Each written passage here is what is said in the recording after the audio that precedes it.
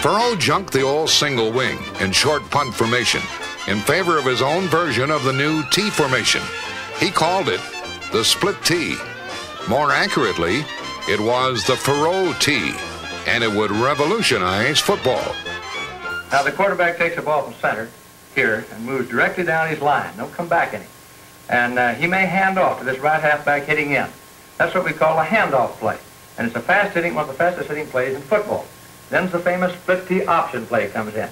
He may either fake the ball here and keep it, or he may, if the, if the end smashes toward him, he'll pitch the ball here to the left halfback coming around, and uh, that is a pitch out and run. Now this diagram represents the running pass from the split T. And uh, this left halfback coming around takes the pitch out, fakes the run, then throws the pass to the right end down the field.